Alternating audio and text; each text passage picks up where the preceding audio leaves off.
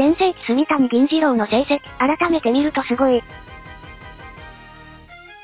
シーズンで OPS が600を上回ったシーズンが一度もなかった。これが不動の正捕手だったのすごい。打てる捕手がそもそも絶滅危惧種になってるよなこれもう小林固定してるようなもんやろ。西武、読売、楽天。